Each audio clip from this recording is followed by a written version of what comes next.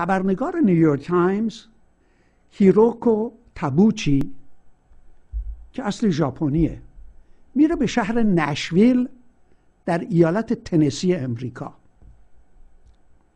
شهر نشویل برای من جالبه برای اینکه اخیرا خود پسر من اونجا بوده و هر سال تعداد زیادی از مردم امریکا میارن میرن اونجا برای اینکه مرکز موزیک ایران امریکاست.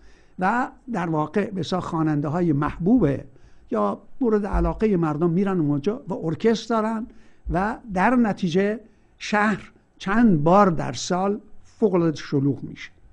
نتیجهش اینه که ترافیک اونجا بسیار سنگین میشه.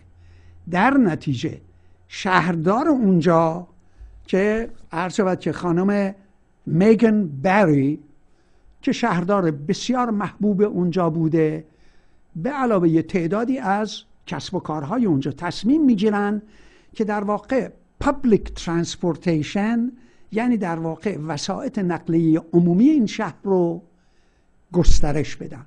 یعنی یک قطار بسازن که از زیر تونل بره و ترافیک رو در شهر سنگینتر نکنه و اتوبوس به جاده های اتوبوس درست بکنه این برنامه بیش از هفتاد درصد از مردم طرفدارش بودن و حتی کسب و کارها. ولی ببینیم چرا با شکست روبرو شده. عزیزان ببینن که چطور مسائل به هم ارتباط پیدا می‌کنه. و اون به این ترتیبه که دو نفر به اسم آقایان ریچارد و دیوید کوک که من اینجا ازشون اسم بردم دو نفر میلیاردر که مجموعه ثروتشون صحبت کردم هفته گذشته. 120 میلیارد دلار. اینا مجمعی دارن به اسم Americans for Prosperity که یکی از دست راستی ترین مجامع و در واقع انستیتوهای به حساب فعاله. چه نقشی این Americans for Prosperity داشته برای شکست این برنامه Public Transportation یا وسایط نقلیه عمومی این شهر؟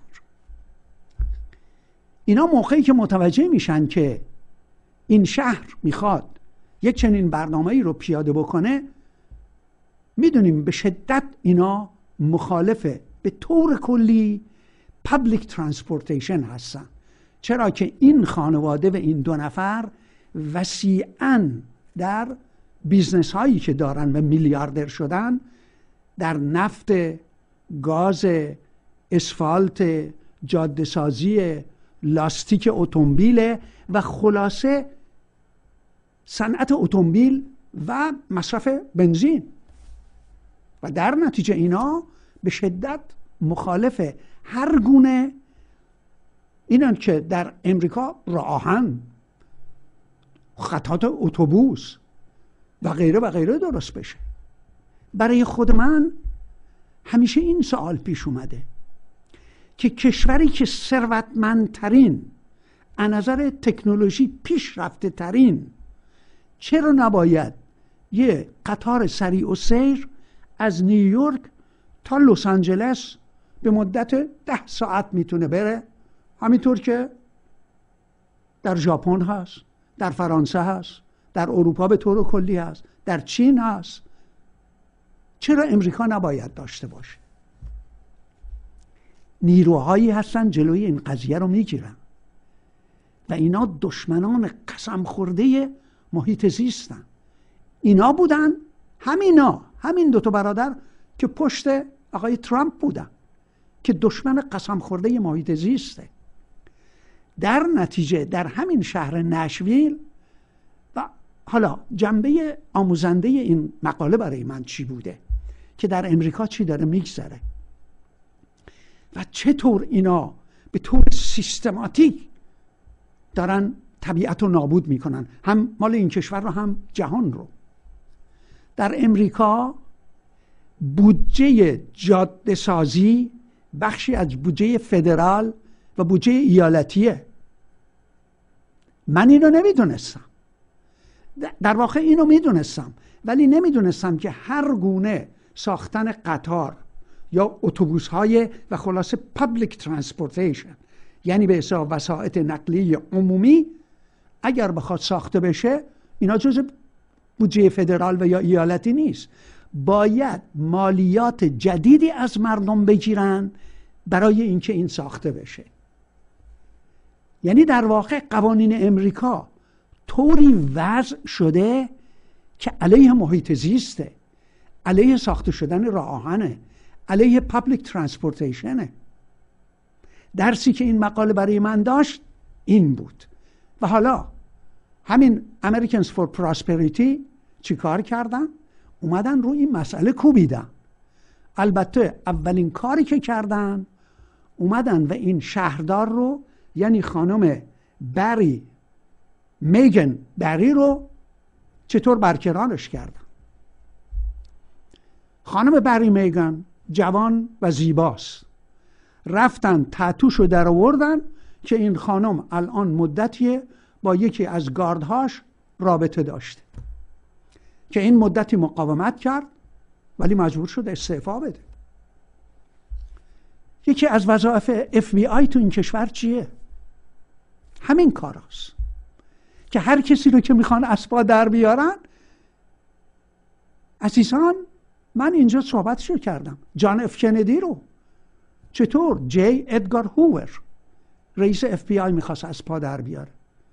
بارها و بارها تهدیدش کرد که عکسها رو نشون میدم که تو با کی خوابیدی. بالاخره چون نتونستن در واقع تسلیمش بکنن کشتنش. مارتین لوتر کینگ رو چطور؟ همین جی ادگار هوور. چند بار تهدیدش کرد. که من می‌دونم تو کدوم هتل بودی و با کی بودی. کشتنش. کلینتون تسلیم شد. برای اینکه خانم عرض که چیز رو سراغش فرستادن. و اونم اون ترشحات بدن رو برد. به اون کسی که فرستاده بودش تو, تو کاخ سفید. ولی آقای کلینتون به طور کامل تسلیم شد. هم سودان رو بمبارون کرد هم عراق رو بمبارون کرد هم افغانستان رو و تسلیم کامل شد. ولی دیگران تسلیم نشدن و از کار برکرانش فرزن دادستان کل عرض که ایالت نیویورک آقای الیوت سپیتزر که این می‌خواست رئیس جمهور بشه اینقدر محبوب بود. بی آی رفت توی ایمیلاش و تلفنهاش رو کنترل کرد. متوجه شد که آخر هفته ایشون میره در واشنگتن و با زیبارویان داغونش کردن انداختنش کنار. و و و و مثالهاش فوق العاده به هر حال اولین کاری که کردن این آقایان کوک این بود که خانم میگن بری رو کنارش گذاشت. بعد گروه های متعددی رو میفرستن توی شهر در به در دق که اینا می‌خوان تکستون رو ببرن بالا. اینا می‌خوان شهر رو به هم بزنن و غیره و غیره. برنامه ای که هفتاد درصد مردم شهر نشویل موافقش بودن با شکست رو برو میشه. یعنی اینا اینطور کار می‌کنن. حالا بعد از اینکه من متوجه شدم که این آقای چارلز کوک و آقای برادرش دیوید کوک این Americans for Prosperity رو داره رفتم ببینم کارهای دیگهشون چیه. متوجه شدم که اینا بنیانگذار مؤسسه یا بنیادی هستند به اسم مؤسسه کیتو C-A-T-O عزیزان ممکنه اسمش رو شنیده باشه. بعد رفتم دنبال حالا نمی‌خوام واردش بشم چون هر کدوم از اینا تاریخچه ای داره. که در دهه 1970 این دو تا برادر مؤسسه کیتو رو درست کردن. دهه 60 چون خود من اینجا بودم می‌دونم که در امریکا چه قوقایی بوده. دانشگاه ها اصلا یک دیگ جوشان بودن و غیره و غیره علیه جنگ ویتنام. سیستم ترسش برداشت و در نتیجه از دهه هفتاد خانواده های ثروتمندی مثل راکفلر ملون عرض شود که گتی بوش و و و و دوپان. اینا به دست پا افتادن. و متوجه شدن که برای مغزشویی مردم دانشگاه ها یه محل خطرن. و در نتیجه آلترناتیوی در برابر دانشگاه های امریکا باید درست بکن. در نتیجه شروع کردن ساختن اتاقهای فکری. متعدد. از Heritage Foundation Hudson Foundation Carnegie Foundation American Enterprise Foundation و از جمله Cato. اکثر اینها در دهه 1970 درست شدن.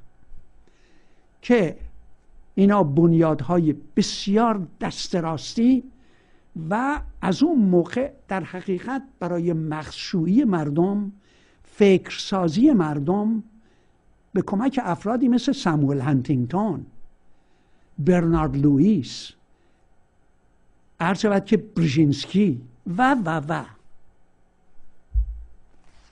بنابراین می‌خواستم من دنبال این بگردم. حالا می‌رسم به اینجا که وظائف این عرض که بنیاد کیتو چیه. متوجه شدم که یکی از وظایفی که داره دادن یک جایزه ای هست به اسم جایزه میلتون فریدمن. که خب